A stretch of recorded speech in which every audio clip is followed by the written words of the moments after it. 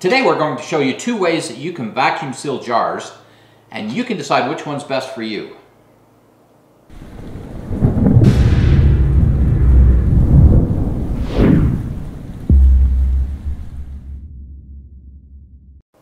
Hi, I'm Jonathan. And I'm Kylene, and we are the Provident Preppers. Now, in our family, we eat a lot of nuts and seeds, but they are definitely a short-term storage item. You can't package these up anyway and have them be good for 30 years. So what we like to do is purchase them in bulk because they're least expensive that way, and we put them in the mason jars and then we vacuum seal them. Now, I wouldn't use oxygen absorbers with these because they're not good candidates. They're higher in fat, which means that they will go rancid in storage, and they're higher in moisture. So these just are not good candidates for um, an oxygen absorber, but they are perfect for vacuum sealing. So first, Jonathan's gonna show you how to use a FoodSaver vacuum sealer along with the attachment, and then we're gonna take you out to our freeze dryer and show you how easy it is to do to vacuum seal in our freeze dryer. We're going to start by using our FoodSaver with the jar sealer attachment. And look, there's a wide mouth and a narrow mouth. You gotta make sure you pick the right one. That's right.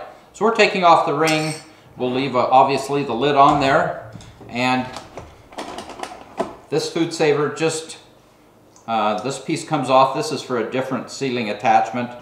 Um, we're gonna just poke that in there and put it on vacuum mode and away we go. Uh, sounds like we might be getting close here. There we go. All right. So as we pull this off, you can hear that lid seal on there. And there you go.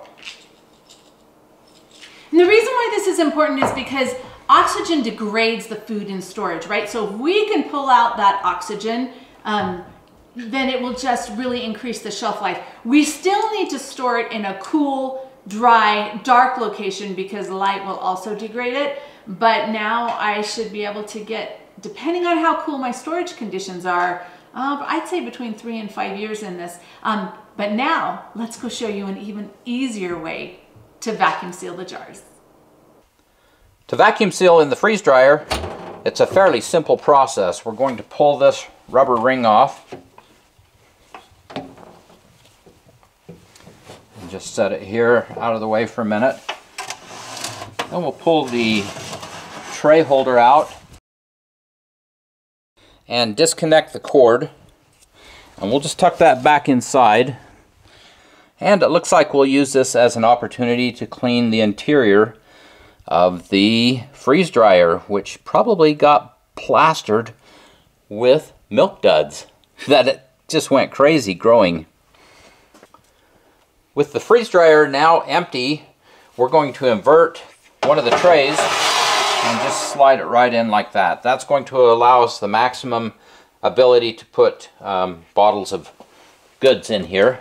As we put the jars in, we're going to make sure that this lid is fairly loose so that it can pull a vacuum and get the air out. We now have 10 jars in here and we will now replace the rubber sealing ring here. And we won't need the pillow because we're not needing to insulate. So we'll go ahead, go ahead and close this up.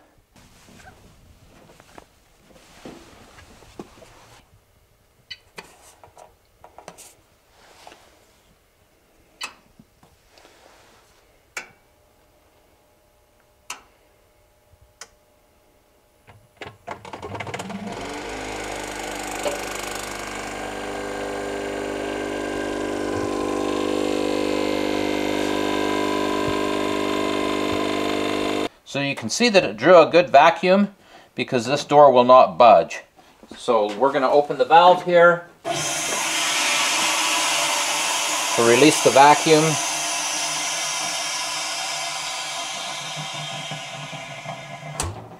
And now the door will open up. These 10 jars have now been vacuum sealed. You can see that that lid is on there. It's been sucked down. It is good and tight.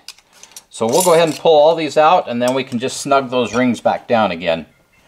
Okay, so for us, this is probably just shy of a year's supply of um, our pumpkin and sunflower seeds and our everything bagel, whoops, and our everything bagel um, seasoning. That, you know, the everything bagel is just fantastic. When I make homemade bread for John, um, I just pour it all over the top. I don't even mix it in and the flavor is amazing, amazing. Um, but you know, it will go rancid very quickly if it's not preserved in some way because it's seeds, right? And seeds are high in fat and um, moisture, which means that they're not a candidate for oxygen absorbers, but they're perfect for vacuum sealing.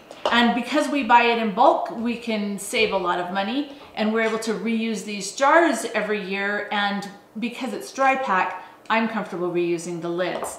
So I thought it was super slick to be able to just put them in our um, freeze dryer and have them vacuum seal it. Absolutely. That was really slick. Now there were two of them that didn't seal and so we had to um, vacuum seal them. So make sure that you always check. Um, another thing that happened was the first time it sprayed a little bit of water back on it, but the hose wasn't even in the pump. So I'm not quite sure what that was all about, um, but it didn't affect the product in the bottle or anything. But that was just really cool. And the other way that we did it was with this um, FoodSaver vacuum sealer with the lid attachments.